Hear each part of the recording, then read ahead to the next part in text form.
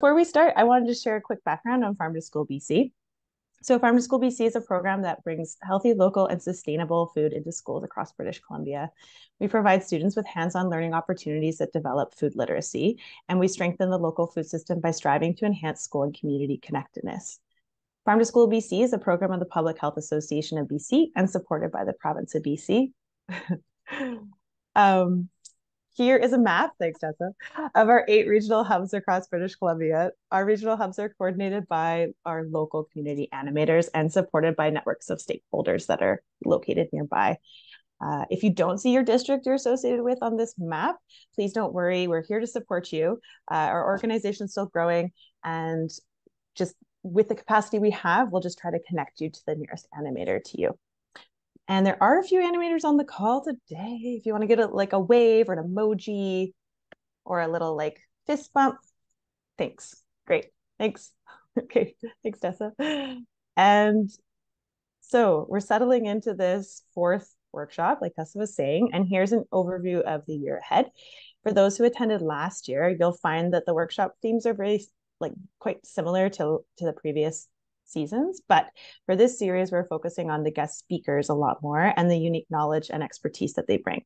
So they are going to be your mentors on this guide, and Tessa and I are facilitators for this journey. Um, and we're also just going to slip into a longer Q&A session to provide more opportunities for tailored discussions. So now that we're thinking of May, since we're partway through April, uh, our May workshop is going to be looking at the essentials of summer maintenance and volunteer management as we think about transitioning out of the school year. And there should be a registration link for you to access if you feel keen on that topic right now. But today, what we're going to do is we're going to look at what and when to plant uh, in the spring season in your school garden. And we're going to cover some great routines in the class in the classroom when we're looking at it as the garden. Sorry, we're going to cover routines in the garden classroom.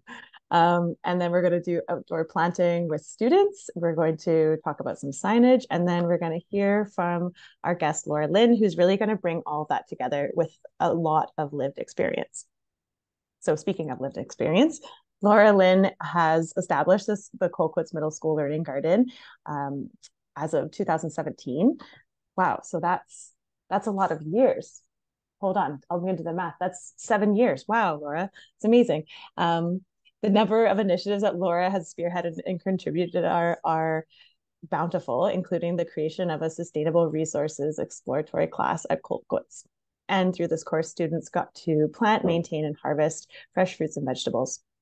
So Laura-Lyn retired in June 2022, but continues to volunteer weekly in the garden and show up as a champion in lots of different ways, like coming today to our mentorship series. So thank you so much, Laura.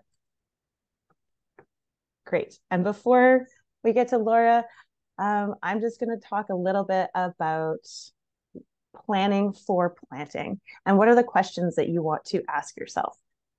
So we're going to go through maybe a couple tools to help you make these decisions about what you want to be planting in your school garden.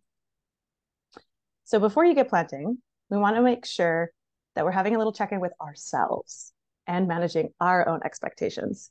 Um, it's a great reminder for the expectations we have for the time in the garden, but also for teaching and learning in general. I think that as an educator myself, I don't always do these little like self check ins, and sometimes just taking that time to be present with am I holding myself too high for like what I'm asking of both uh, the environment and of myself as an educator and of myself of this season.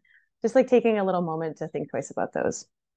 But after you're done having a little bit of check-in and self-reflection um, about the expectations of the experience the following questions here are important as part of your planning with your colleagues before involving your students.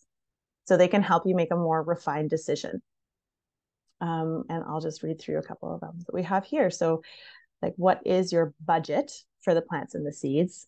If it was up to the kids, they would just plant everything. I'm not sure they're really aware of budgets, but it's actually a great exercise to think about as a classroom. But like as an adult, I'm like, okay, wait, what is our budget we can work with? Uh, what classes are going to actually be doing the planting? Who's going to take care of the watering and weeding?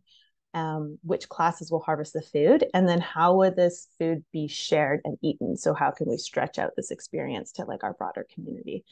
And Tessa and I were thinking how lovely these questions um, bring up the idea of backwards design, where you're actually prioritizing learning outcomes instead of the actual topics being covered. So as as outdoor educators, um, yeah, I think we we really enjoy that piece of, of these questions.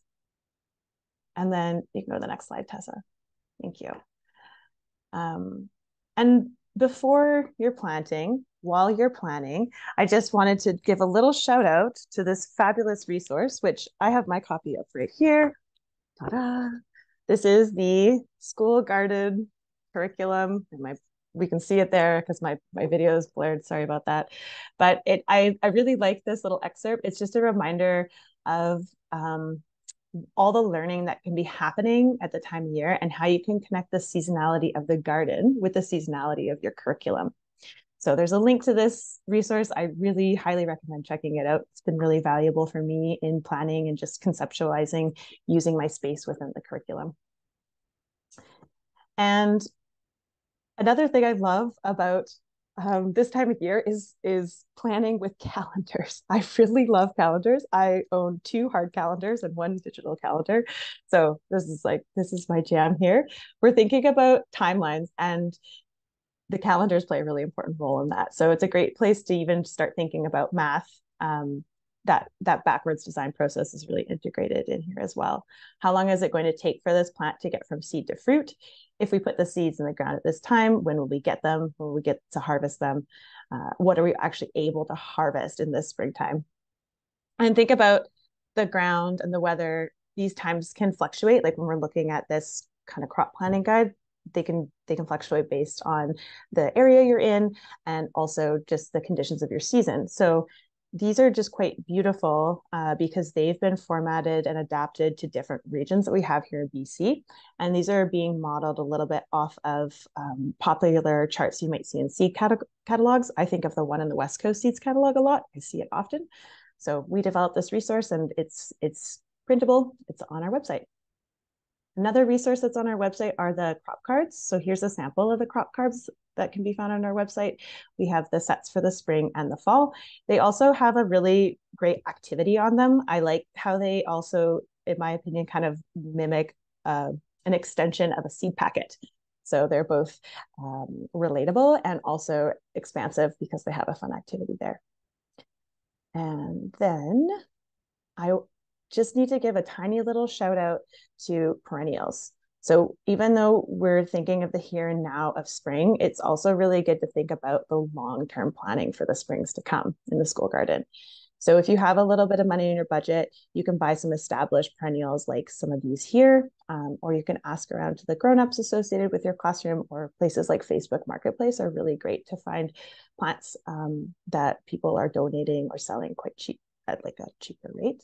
So perennials are easier to maintain and you don't have to plant them every year. So some that I really like are uh, sorrel. There's a really tasty lemon variety. It's quite sour and like really fun for kids to experience that in their mouths. And then strawberries and rhubarb are lovely and happen to make the best pie filling together. Then a lot of our herbs are perennials. Um, and the, the beauty of perennials is they often support pollinators just in the longevity of their seasonal appearance. And lastly, when we're thinking of spring, one more time to think ahead is to think about the fall. We have um, we have fall crop planning cards, and then we also want to incentivize folks to think about direct seeding some of these like carrots and winter squash and then the potatoes are actually started as seed potatoes lots of ways to grow potatoes can be uh, really accessible too. You can grow them in pots, you can put them outside, you can keep them in your classroom. They're really quite fun to see all those eyes develop into something on the potatoes. Um, and tomatoes and peppers can be a little bit finicky, but you can get those from seedlings. They do require summer care and a lot of heat. If you have that available to you, I recommend taking a taking a go at those and maybe maybe not your first year but you'll have some delicious fall bounty with either the peppers and the tomatoes great thanks tessa thank you sonia i can still see one of my students faces the first time they dug potatoes out of the ground like whoa, mind blown that this is where potatoes came from. Um, yeah, so exciting. All those root crops are really neat to see. Um, kids wonder when they first come out of the ground. Um, but now that we've talked about planning, what you're going to grow and when you're going to plant it, it's now time to talk about how you're going to plant out in the garden while engaging 25 students that you have alongside you. Gardening with a class can feel chaotic, um, especially if teaching outside is something that new that's new for you. So before we talk about the specifics of how to plant with students outside, we're going to talk more generally about some routines that can support outdoor learning in the classroom. Before working as a classroom teacher, I worked as an outdoor educator for a decade and when I transitioned to classroom teaching, I naively just thought, oh, I'll bring my class outside and I'll see the same wonder and magic that I experienced as an outdoor teacher. Um, but I realized it's so different. When students are familiar with the boundaries and expectations of the classroom, it can be hard for them to know how to learn, how to behave, how to relate outside of the classroom. So I really um, believe in establishing routines, both for myself as a teacher and also for the students. And it helps me set up learning in the garden and turning the garden just as an outdoor space instead into an outdoor classroom where there's an expectation that we're working on learning in that space. I could fill an hour easily chatting about this, um, but instead of trying to overly abbreviate this topic, I'm going to direct you towards an amazing resource. Back in 2020, Farm to School BC hosted a webinar with two wonderful outdoor educators from an organization called Groundbreakers in Northern BC. And these two educators talk in depth about routines that they established to support learning outdoors and especially support learning in the classroom. I highly recommend this. I've watched it, I think, three times, and I'm going to keep watching it because I always glean something new from it. And it really sets up um, how you can uh, create these routines to support learning in the outdoor classroom. Um, in addition to general routines for learning outdoors, there's also some routines that are more specific to garden environments. And establishing these routines in the gardens not only cuts down on your planning time, it also grows independence in the garden and can be a foundation to a station-based approach uh, to learning in the garden. So once you have these routines developed, uh, students are more able to work semi-independently in stations, which frees you up to work with a smaller group of students in a hands-on activity like seeding. In last year's School Garden Mentorship Workshop in April, I talked through all these routines uh, in quite a bit of detail. I'm not going to do that today because we want to give lots of time to hear from Laura-Lyn, um, but I, am just going to highlight a couple of my favorites that you might not have thought about. Um, so first of all, enter and exit routines whenever we're transitioning to learning a new learning space, we're often primed for this for teachers. And we think about it like when we go into the gym, how are we going to transition to that space? But sometimes we forget about that for the garden. So having those entrance routines, maybe it's a place that students put the supplies, an area where you gather, something that they're prompted to notice on their way in. Just think about how you're setting them up for entering that garden and ready to learn in that space. Another routine I want to highlight is sensory tune-ins, also called sit spots in the outdoor education world. It's a really common practice um, in the outdoor ed world, but not always brought into the classroom environment. If you have a big garden, a sensory tune-in can be students just finding a solo spot and using their senses to tune into that environment around them. Um, but more often it works as a group sensory tune-in. A couple ways I do this, sometimes with older students, if we're standing in a circle, especially during an opening or closing time, we just get all the students to look outside. So flip their body 180 degrees and face outside of the circle. And that gives them their own um, perspective and experience in the garden. And then I guide them through with some questions of sensory tune in. Or with little learners, we like to lay on our bellies in the garden, have our nose right up to the grass and see what we can see, and then flip over onto our backs and look up at the sky and tune into the garden that way. Um, one other one I want to highlight, um, which is actually an idea that came through a couple of years ago at School Garden Mentorship, um, is this idea of weed of the week. And I love it. Weeds are really fun to highlight. Uh, it kind of puts a new spin on weeding. Often when you tell students we're going to go weeding, there's like groans. It's not often kids' favorite activity in the garden. Uh, but when you learn a bit more about the weeds, which ones are edible, what's their story, how do they come to be in the garden, um, it can really bring a new light to weeding and a lot to learn in there as well. The last two highlight on that list, I just want to share a couple photos with. Scavenger hunts um, are a really great way to engage kids to get them exploring, touring the garden. Uh, I've used egg cartons in the past, as you can see in the photo on the right there with a visual cue up top to help the younger learners uh, identify which things go in each spot. Uh, you can also use paint chips or colored rocks. Um, someone mentioned that they loved just playing a scavenger hunt where students find a color that matches the color that they're wearing on their bodies at that time. Uh, or evidence of an animal or something that smells really good or really bad. So coming up with fun different scavenger hunt questions each time. It doesn't need to be a big planned event. It can just be a way to encourage them to explore more deeply. Um, Specs also puts out a great seasonal scavenger hunt, and we'll put a link to that. Um, one other routine I just want to talk about is the journaling uh, routine. And journaling observation stations can take many different forms, but I want to take a moment to highlight one activity that I like for scaffolding journaling. I like to teach students about scientific drawing, and I use the ABCs of scientific drawing as a quick, easy tool to communicate and remember criteria for scientific drawing. And I find students get really into this, and it's an easy criteria. They can go back and check their work and say, did I include all these steps? Um, and I just put a link uh, to a slideshow that I used when I was teaching this um, that just helps uh, students engage in that. Um, so those are general garden routines in general, and I want to focus specifically on uh, spring in the garden now. So many of the activities we do in the spring uh, focus around planting seeds and planting seedlings. The actual planting of seeds can be a really quick experience. And so I recommend doing some related activities in the couple weeks leading up to it these priming activities help build the student engagement and investment of the process and helps them become more attached to the seeds once they're planted and stewarding them along. So there's a few suggestions on here. There's a picture of some of my students painting signs. I really like doing that as a way to connect and a way of bringing out those more artsy students to connect into the garden space.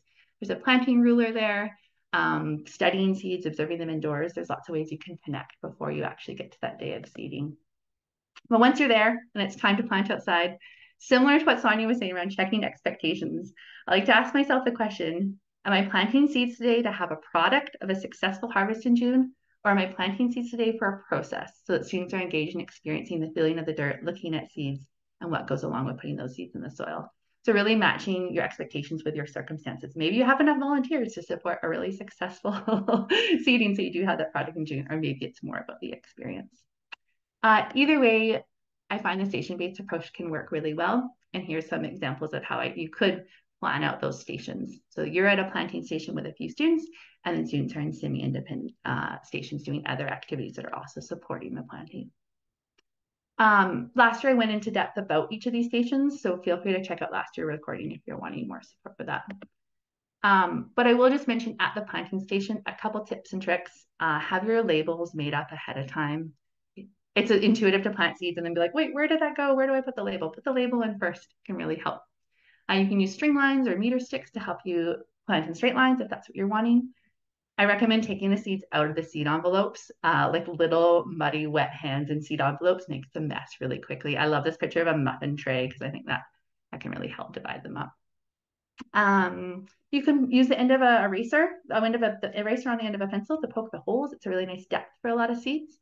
Um, and another option with tiny seeds is sometimes I mix them first with students in peat moss, and then I actually plant the peat moss, um, which helps things like carrots. It actually disperses them, provides a great growing medium, and the students love stirring up the seeds into the peat moss before we plant. So those are just a couple tips and tricks, but we go into this in more detail last year. So if you're curious for more information, check out last year's recording. And I'm going to hand it over to Sonia to talk a little bit about signage before we pass it over to Laura-Lyn. Thank you, Tessa. Whew, whirlwind. Um, one little quote that I gleaned from Kaylin from last year was the smaller the hand, the bigger the seed. So I thought that was like a really helpful reminder of like, okay, don't give pre-K and kindergarten kids carrot seeds. Maybe. I don't know, unless they're mixed in with that medium. Love it. Um, so I just wanted to talk to you for a couple moments about signage and the value of the signage as a tool for communication and also for relationship building. In addition to it serving as a purpose to get to know our spaces and also giving us maybe some boundaries in that space we're trying to create. So here are some reasons for signage in the garden. Um, we're really looking at managing expectations of the messaging. First, we want to make sure we're managing our own expectations again. And it's a good lesson for time in the garden in general, but also just for our signage. So we could be looking at signage as a tool for communication, identification, connections to community, like storytelling, helps with management and organization, um, a way to see personal touches from students. Like students love to see themselves in the garden, and like, why not do that through art or an expression in signage? And also, it connects everyone to the space. If it's more personalized and more relatable, we're going to feel a little bit more accountable to take care of it. So, one great way to use signage is to try to uh, remind folks uh, to invite them to follow the rules and the conduct of the garden. Before entering the garden, it can be really important to establish those rules and guiding principles while in the space. Uh, I've really seen some successful examples of teachers who draft these rules with their student input and and pause at the garden before entering. And I think you could also create these rules in the classroom when you're thinking about setting expectations for the beginning of your year in the classroom. You can think about setting those expectations in the classroom and then taking them outside and representing them somehow in the garden. Um, and then also we want to think about identifying zones in the garden. This is a great form of signage that you can also have in your school or you could put out into a newsletter. You could share this this form of signage. Maps can be a great way for students to develop a sense of belonging in the garden, but they're also great at um, for communication and co-management among classes themselves, especially if you've got many classes visiting that site. And then you can also print them out. Um, I, I really think it'd be fun to send them home too for the rest of the community to see. And then we don't want to forget about informative signs. So not only are they enriching for those nerds like myself who want to know the Latin name and the species, but they can be a way to connect to different cultural foods and traditional uses of plants. Like I mentioned before, it's really valuable for students to just see themselves like in their foods if they can, and that also includes their cultural heritage. And then I really like this slide because our signs could just be an independent station. If you're setting up stations in the classroom during your teaching time, let the sign do the explaining for you and make it a expanded ADST lesson, perhaps. You want to look at constructing and painting signs. There's lots of ways to bring that into your curriculum. This is a beautiful lesson that's showcased in the Learning from the Land toolkit that Farm to School BC helped put together. I really recommend checking it out. You can download yourself a copy. It's gorgeous. And then don't forget to liven up your shed and lock it up. So this is actually I believe, Laura-Lyn, this is your shed, is it not? Yeah, okay, Laura-Lyn. Um, one of the best ways to detract vandalism and theft is to actually do it through communication and be a little bit proactive. So use the signs to tell the story of who the garden is for. They can be sometimes a site of vandalism, but we want to think about how students can put a personal touch on it. And we don't want to forget to lock up the shed. So consider um, different ways to lock up the shed. I have a little picture here of this combo lock. And then also Tessa and I were talking about a lock box with a key inside might be a really great way to lock it up. Okay, so we know that our garden can build relationships. And I think I want to just use this slide to segue right into introducing Laura-Lyn. Um, we have Laura-Lyn today as our guest speaker and we wanted to let her introduce herself with her whole face. But from what I know, you've been really pivotal in establishing the school, this Colquitz Middle School uh, Learning Garden. You have been engaged in so many projects. So um, it's my pleasure to have you here, Laura-Lyn, and let us know what we can do for you. The floor is yours.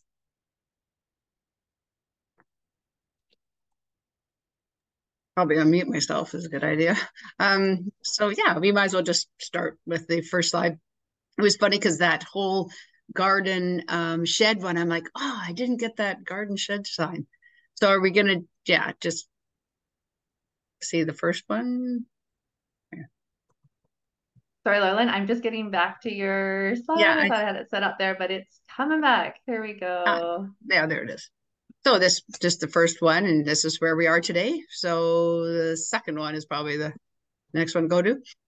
So if you if you don't recognize this this wonderful little fruit, it's the ground cherries or golden berries, or sometimes they're called gooseberries. And when you buy them in the store, they're actually uh, from like Colombia, but we can grow them here in our own garden. And we'll talk a little bit more about that later. But I am going to talk about more about signage more about some of the spring crops that uh, were, uh, you know, going to be planted.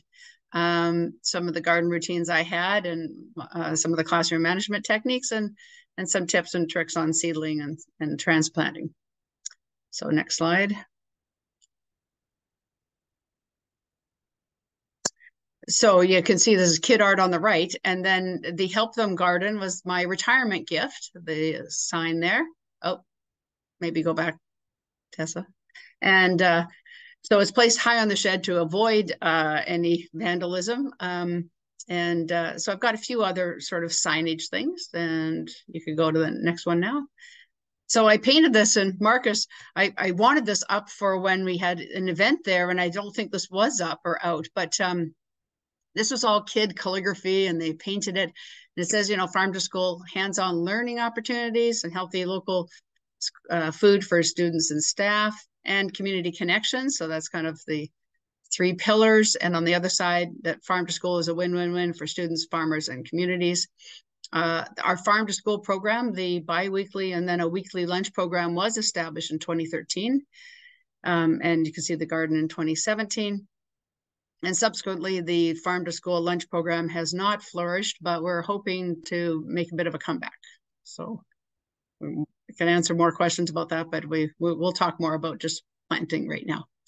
So next slide, please.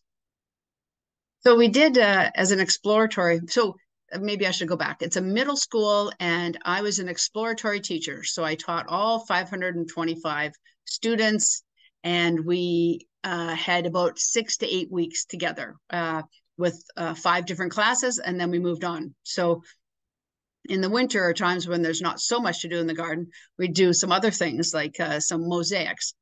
And uh, so these were done quite a few years ago, but they are failing. The one on the left says garlic, and there's garlic there.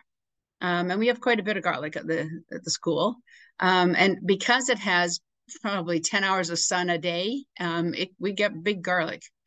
And the one on the right, I'm not sure. I think that might have said basil at one time, but it's uh, kind of all the little bits are falling out. But they still look kind of nice. So maybe next slide, please.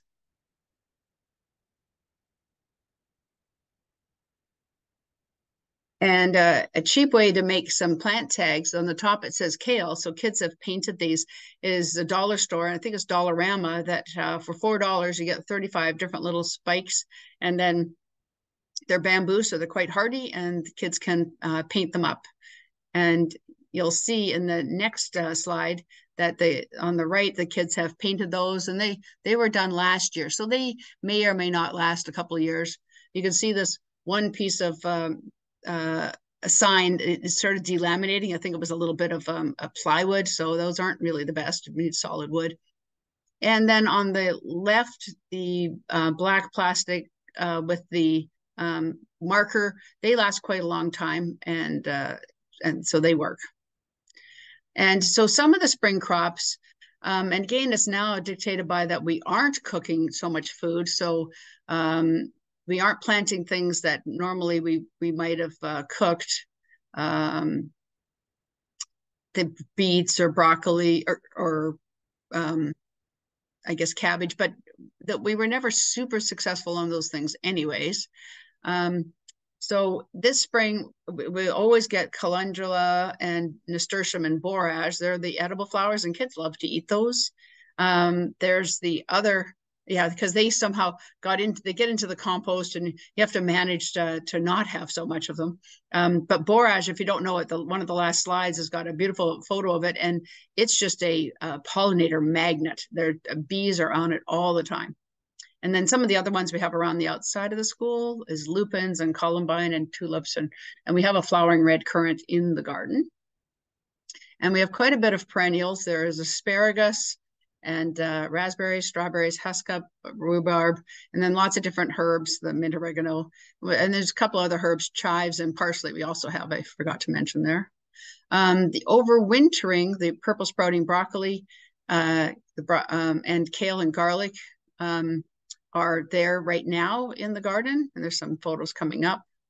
Um, and then we've just uh, planted the snow peas um, and some radishes. The carrots are coming. Um, and um, and potatoes are inside right now. It's kind of the idea of the Spuds in Tubs program. I've got some photos of that. The tomatoes will be coming along. Uh, they're not ready yet, and beans a little bit later, and basil, of course, later. And the lettuce is going is being seeded inside right now. We've got we have lots of mixed greens, and then I said those ground cherries are golden berries, and that is a photo of the asparagus coming up in the garden right now. And kids, you can top it off, and kids will eat it raw. Yeah. So thank you. Yes. Yeah. So in if you are growing purple sprouting broccoli, uh, the one the photo on the left is the photo on the right, and you just break off that center little um, crown, and then all of those other little uh, sprouts will come along. And uh, and I've had grade eight kids running into the garden out of the PE class saying, Can I have some of that purple sprouting broccoli? And you go, Okay, uh, but then go back to PE. And so um, it you know they love it and and they like it. So it's it's a it's a good one to grow. And you plant it in the summer, and then it'll grow through the fall. So next slide. Got quite a few berries. So also in the background of the photo on the right, you can see those um, ferro cement planters that we have our orchards in. And it's kind of nice because you can see that we have deer fencing, which doesn't look as, uh, you know, sort of as, as a wall like the chain link fence. So I would encourage you if you can get deer fencing, it's quite nice. Um, these are uh, golden raspberries. Um, right ahead and they are ever bearing. And the golden ones are sweeter. It's actually quite amazing. And the kids love them. And uh, um, at first they don't think they're ripe yet, but they they are. They go quite a quite an orangey golden color. And we had them coming through right on the outside of the fence so people could pick them. And the haskap or, or honeyberry are kind of like a blueberry, a longer, thinner one, and you but you need a male and a female plant. So we have both on the left. Yeah, well, thank you.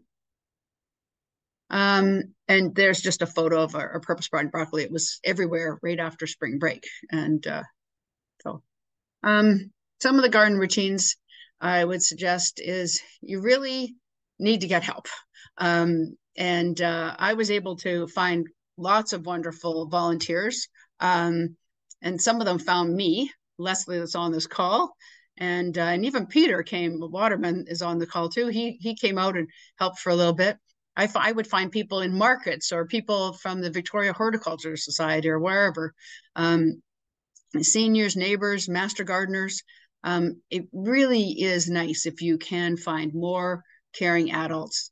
And then if they are willing to come on a regular basis every week or two, um, it, then the same kids get to work with the same people. And um, my own father-in-law uh, was an agriculture uh, major, and he once he retired, uh, he worked at the UBC farm as a farm friends, and he did that for five years, from 82 years old to 86 years old, and he lived to 102, just passing away a couple of months ago. So the moral is keep uh, keep moving, and uh, I think a lot of seniors would love to work with kids, but they don't even know how or how you know that they're invited to. Um, so I would I divide the group into two or three or four, you know, however many groups of, of adults you have, and uh, and then they can work with a small group. Um, I would pick have them I had them pick their teammates so that they would be more fun for them and they would stay with the group. But if they weren't following the expectations, then I invited them to a different group, usually mine. So thank you.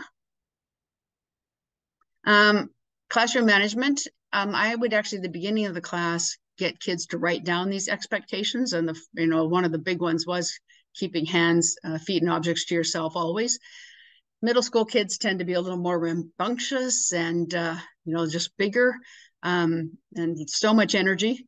Uh, I, you know, actually, if you could tap that, we wouldn't need another uh, energy source. We could just hook them up. But anyway, um, garden tools are, you know are obviously sharp and these i, I kind of suggest to them that these are not barbie tools. These are like real sharp you know proper size tools. And you are a, a bubble of blood so do not uh, pierce that. Um, so you need space around you to make sure that you're you're safe and everybody else is safe. Um, and that the garden is really an outdoor classroom. This is uh, not a free for all. I would, I'd never let them go over to the playground when I, you know, we were supposed to be in the garden because I didn't want that habit. I would let them just sit in the garden and observe because um, that is doing something. Um, if they needed a break, they could sit there. We do have chickens uh, again in the garden and they love watching the chickens. Um, and I would have them, you know, teach them how to handle and carry and pro properly use the tools, demonstrate it, have them practice. Um, it's really something you know you have to keep reminding them. Um, and the whole idea of never stepping on the face of the garden i kind of would say who wants to lie down and have some your friend walk over your face? Um, of course you know they'll try not to gush out your eye or step break your nose but no one would suggest that. So you know walking on the paths only and sort of describing how the soil has you know so much um, air space and water um, stay with the group. Again, they wherever your group is, you need to be there. and just listen and, and speak respectfully. So some of those we wrote down and, and reminded them of those routines. Um, this is something that I wasn't didn't uh, know in the beginning that I'd have to teach kids this, but it makes sense. Um, you do need to teach them how to cradle and and especially in the, if you have the six cell um, plants, you need to sort of squish out and hold and cradle those so their necks are safe, um, so that you don't don't break and smash your little seedlings. Um, and especially if you're growing them yourself, sometimes they're not quite as solid as this, and they're a little bit floppy. Um, but that's you know something uh, to to teach them. Side. Um, this is something we learned the hard way. We um, one time planted all this this uh, stuff out, and then came back you know, two days later. I guess we planted Friday and came back Monday, and there was nothing there. And it was like, what happened to it? And I think uh, there's some birds pecked away at it and ate all our little seedlings. Um, so these little lacy covers help uh, with transplant shock, um, and but they still let in latent water. Um, and then another thing that's important if you are growing your own seedlings to make sure that you harden them off so that you're putting them outside in the day and then bringing them back in at night and and doing that for you know a few days um, because otherwise the um, wind and, and sun can really do a number on little plants. Okay, slide. And, and so then when we started planting um, out, and we often plant right along the drip line, um, we started marking it. And we've used various um, things, but these are free. I put them through the dishwasher, and um, uh, they came from the, the lunch program. And um, that way, you know if you've got seeds there, that where where things are going to come up, and no one over double plants on it, um, or you know, so that it just is a help to remember what you've got going on. Thank you. Um, on last week, I had um, grown the snow peas or snap peas um, in vermiculite, uh, started on a heat pad, and they grew quite tall over spring break. Um, I got kids at Keating Elementary that I was working with to separate out their little roots, and you can see it in the tray. Um, and then we planted them out, and there's another photo there. Next one. Um, we have something here um, that most of you probably don't have. We have lizards. And the lizards grazed off all of the sunflowers I'd started to plant. Matter of fact, I there's a photo later I'll show you. I don't know what ate it, but um, so we opted to keep them in the plastic pots. And this this is a teepee shape, and we put this netting around it. Um, they will have to hand water these uh, snap peas through to to June, and then anything they don't um, water, uh, it will just become seeds for next year um, when it dries. But uh, so we had kids planting all these peas in these pots. Thanks. Um, if you plant carrots or radishes, you'll never find those plant starts because they they uh, that is the root is uh, the edible part, and so you need to start them in paper pots. Lee Valley has a little machine you can use to for twenty dollars to create them, or you can use a mason jar, or you can buy these. These I think were just bought at the dollar store. These biodegradable pots. Um, you can see the kids are starting to plant them on the left. And I purposely put this one on the right because that is not deep enough to plant them. You can see that you can see the edge of the pot and it'll wick away the uh, moisture. They'll dry out too much. And I didn't take, didn't put in the next photo where you can break down the edge of the pot or you can cover it up um, right up to the edge so that um, this, the soil will be right around the seedlings and they won't uh, dry out. So radish. Um, there is a Spuds in Tubs program if you're lucky enough to get in on it. Um, they will provide the soil and the Warba potato starts and a bunch of information. Um, I I did that for years and years, um, but I wanted to do it at Keating, and so we just went and bought the uh, sea soil and bought the plant starts and started them inside over spring break. So you can see these are planted March 12th, and now it's right after spring break, whatever that uh, 23 days later was. Um, and this is how much they've come up. And you um, leave them in a south window. You can see it's sort of floor to ceiling door there, window.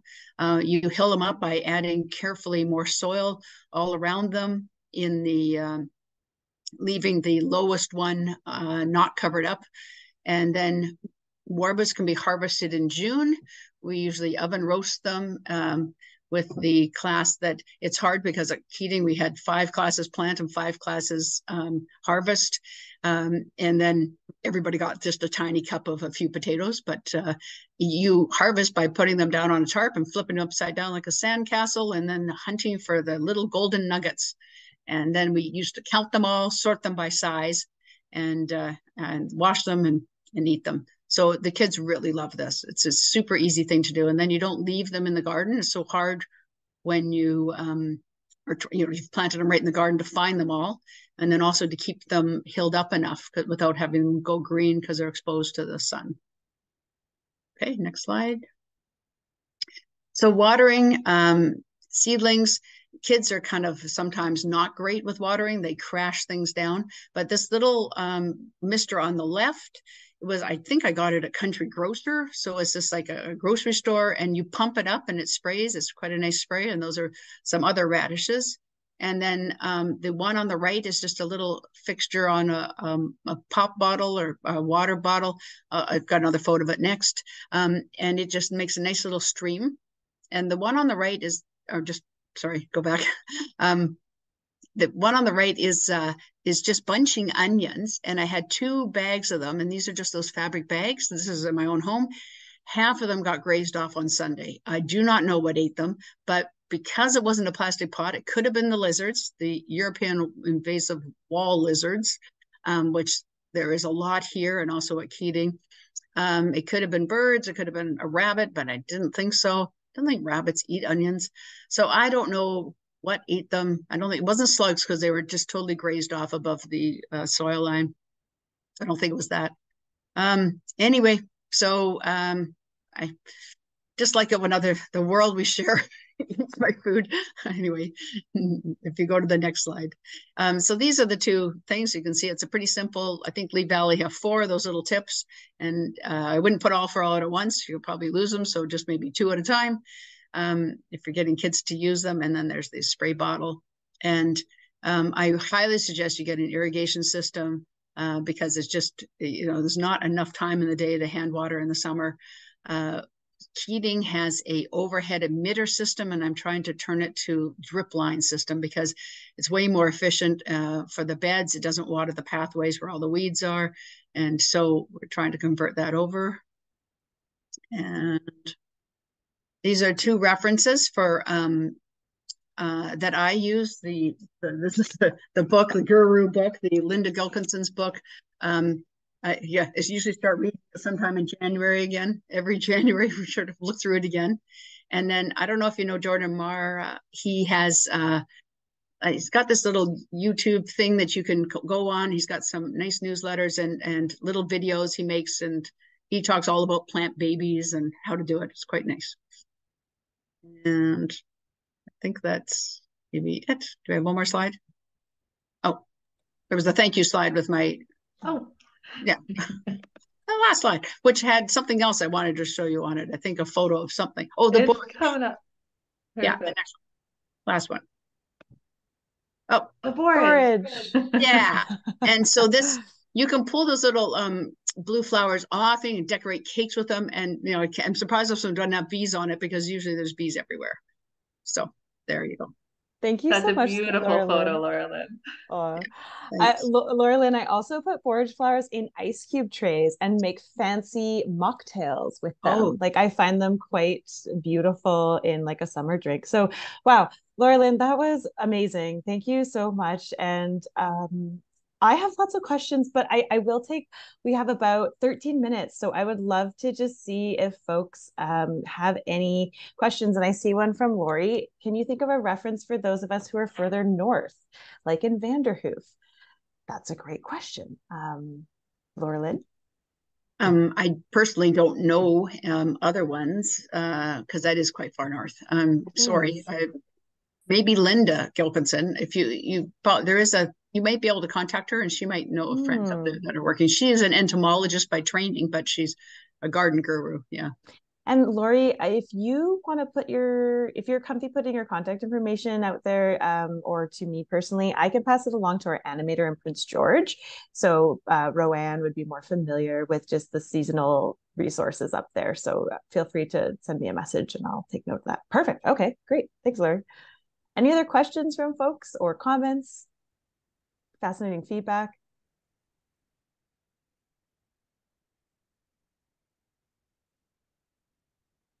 Oh, good. I, oh, I was going to say, I thought of something else. The um, the garden scavenger hunt. I've used um, the egg cartons, and on the bottom, um, I've had uh, two contrasting things, and every uh, you know six different groups, and every group has a different one. And you know, it could be brown and green, and they have to get six things that are on each side or you know sharp and smooth or rough and prickly or round and flat or and and then they have to try and figure out what the person's looked for. And then i get them to report out on what do you think theirs is. And it's actually quite fun. Um, and it really gets them looking all around the garden. And uh, so that's one of the ones i saw i love that Laura-Lyn. i've done a lot of scavenger hunts and i haven't thought of that and i'm excited to try that out thanks for hmm. sharing that this is this is a really great question um sorry, Tessa, I didn't mean to interrupt you there. I'm just Shauna. Hi, nice to see you here. Um, Shauna has a great question. When when you experience loss in the garden, how do you frame it when explaining it to kids? It's indeed a common theme, and I often say that being a gardener is learning how to deal with disappointment. It's a great question. Um, again, it might be because I was teaching older kids. They they didn't seem to be um, so uptight about uh, uh, you know a, a plant going um it's interesting i know that i i'm kind of um like I would never harm a slug out in the forest, and we talk all about their fantastic decom- you know decomposers and their vital part. But we have a swimming pool that we give them swimming lessons with a little bit of soap. So I I actually um, we do actively search. Slugging is a job. Actually, lifting up everything, looking underneath. So I, am kind of I, I don't I haven't experienced kids in middle school being very upset about the loss of things too much. So I'm sorry, I'm not that. Maybe other people have a good experience with that one. Yeah, I'd be keen to share. I mean, I mostly work with littles, little littlers. So I think that for me, when like loss happens, I like to really embrace the grief. Like I like to mm-hmm. embrace that, like, oh, like there is sadness here. Like let's experience this sadness. But I then think that once there's time in that expression of the feeling, it can shift into like, oh, what did we love about that bean plant? Like, oh, look how like caring it was with its tendrils. I don't know. I think you can like move into the appreciation. And mm-hmm. it um someone was sharing a story from an outdoor program here in Kamloops that they had like a funeral for something they found. They found like a dead bird. And so maybe it's a little different if it's like a plant, but absolutely i think you could have a funeral for like that sunflower plant like oh and it was just really beautiful they like wrote little notes and messages and then they buried it in like a nice little ritualistic way so my instinct is to like lean into the feeling and then like celebrate it in mm-hmm. like what it gave them but that's just maybe my approach with wee ones um and then amber can i read yours out loud amber uh, Amber says that they talk about the concept of um, going back to the land and how even when we feel disappointment and sadness, that function is still happening, and there's important transitions taking place that will nurture other plants, soil, and animals. Oh, that's beautiful. I'm just mm-hmm. going to copy and paste this and put it on a magnet. Thanks, Amber. That was beautiful. um, does anyone else have any other questions or comments before before I ask mine?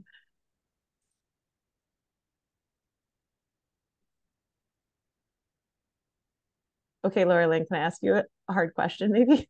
Okay.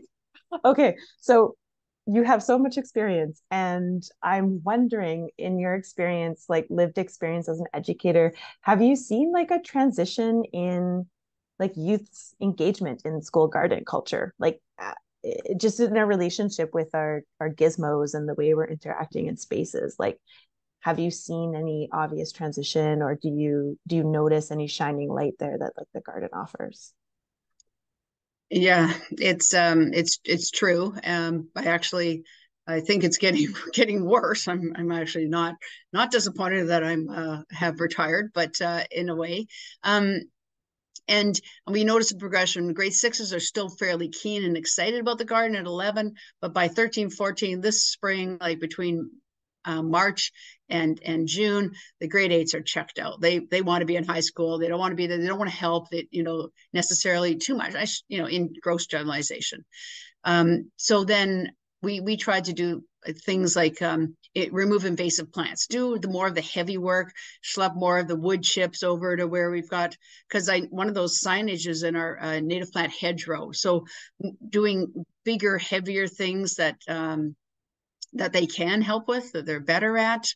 Um, I it it is hard uh, having them just just notice things in the garden. Uh, the chickens help. The garden went from being not cool to once we have the chickens and they could hold chickens. It's called it's the rented chicken from the Bees Please farm, and uh, the pack pay for it, and it, has been uh, just an amazing thing over the last. I think we've had them it, since 2020. So since uh, the first fall of COVID, we've had them. Um, they come for five months.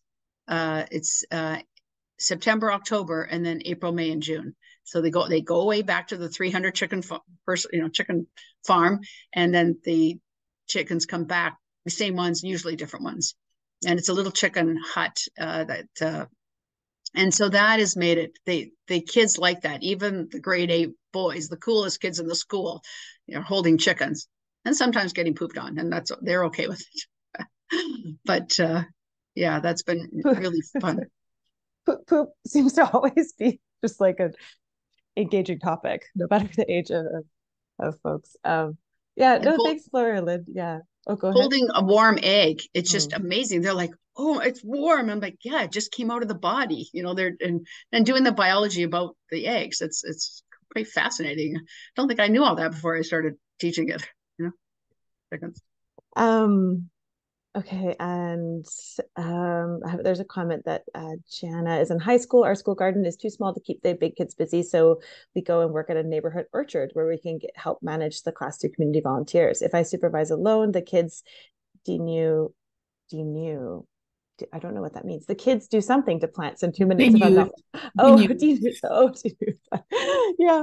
If I'm not watching, it's true. But like what I love there is you're really looping in those community volunteers. That's so nice. Um, yeah, I was having a conversation today at a school about engaging community volunteers and and families and and retired folks. So that's that's really nice that you can share that, Jenna. Um, yeah. Uh, Tessa, do you have any other questions or comments before we yeah. wrap up? Just speaking of community volunteers, Laura-Lyn, I feel like you've done an incredible job weaving a network of folks engaged in the garden around you, the master gardeners, the seniors, parents. Do you have any tips or tricks of how you were able to create um, such a community around the garden and also just the benefiting from that support of having so many volunteers and making that worth your work and supporting those volunteers and training volunteers and getting out in the garden? Just curious a little bit more about that journey and any tips for those folks that are looking to engage more volunteers in their garden the master gardeners actually have a mandate to volunteer. So if um, and it would be interesting, it would be really wonderful if there was sort of a network of of linking a master gardener to every school that had a garden. Uh, you know, in their in their community or kind of close to. Um, I know that Paula McCormick at the uh, Horticulture Center of the Pacific was looking into trying to get something like that, certainly in, in the Victoria area. Um, but and I should talk to her more about it because it, it is a provincial, you know, network, and there's, you know, so it, that that is that's a really good resource. I don't know, maybe Marcus knows a little bit more about that, um, or anything that is going on that way. But it they they they do need to volunteer, and uh, uh, and even people taking their master gardener uh, certification need to volunteer. So that might be a way um, to have people get and also seniors homes like um the the not the the ones that are kind of independent living they usually have a bus. And those and they're looking for activities for people to do and they could bus them to you. I i, I wanted to and and, and it, but you have to it, it's hard because you have then you have to manage those volunteers. You have to have things for them to do and and and work it all out. But i i do think that even if they only came twice a, a, a month that it would be uh, kind of a good thing. So i'm look going to look into that a little bit further for Colquitz. Yeah. Thanks, Laura-Lyn. I sense that you have this wonderful balance of being able to create openness to invite folks in while still having a very productive garden. I find sometimes I can see that as either or, like either I have a learning space where it's a bit of a free for all and everyone's welcome, versus I have a like my rows and my seeds and it's all in order. And I feel like you strike this balance of still having a lot to harvest from that garden, a lot growing in that garden, but um, you have a way that welcomes people in and is not too fastidious that everything has to be done just a certain way, such that students can feel a place in there and students can feel part of that space as well as volunteers that come in. Um, and I really, yeah, I have a lot to learn and admire that balance you seem to hold. Thank you. We have two more minutes if there's any last question. Um, otherwise, we can wrap up there. Well, I might, might invite uh, Leslie Roberts there, who's uh, maybe she's behind that photo. Um, she's been volunteering for I guess if the garden's been going nine years, she's been volunteering for five or six or seven. Yeah. Or whatever. Yeah. Good presentation, Laura-Lyn. Thanks. But do you have anything to add as a as long-term volunteer? Well, I'm pretty passionate about my background is chiropractic and um, and nutrition and a pediatric chiropractor. So um, you know, food is medicine. Food is medicine. Food is medicine. And um, so I'm really passionate about educating uh, youth about that, and that always drops in in any conversation in most of the conversations I have with kids. So um, you know that is my one thing within this whole uh, community is to educate kids about that because it's really important for the future of our healthcare system and of our food security system and of our planet. Yeah. Thanks. So so get so get look for people who are into nutrition.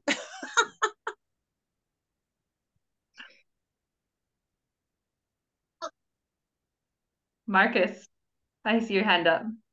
I know we're almost at time. Just wanted to jump in and say uh, thanks, Laura-Lyn, for joining us, and just to maybe give your flowers to uh, flowers over to you as well. I got to travel around um, looking uh, at a lot of the salad bar programs that were being run for a number of years. Um, and uh, Colquitz ran probably the most incredible salad bar a lunch program that I saw while traveling around the province. I saw about 15 or 20 different programs. And I know that you're not getting into that really here, it's mostly focusing on the garden, but it was really, truly inspiring. So I just wanted to kind of bring that up because you made big connections between those two things and it was admirable. Thank you. Yeah, we, we didn't actually call it a salad bar. They're like, well, wait a minute, there's stir fry and there's there's a crisp and there's soup and there's yeah. So we just called it a farm to school lunch. But yes, yeah, it was yeah. Hopefully again sometime. Yeah, Laura-Lyn, sounds like we need to have you back for another topic. But thank you for today, yeah. focusing on the spring planting as we're all eager to get out there with our students.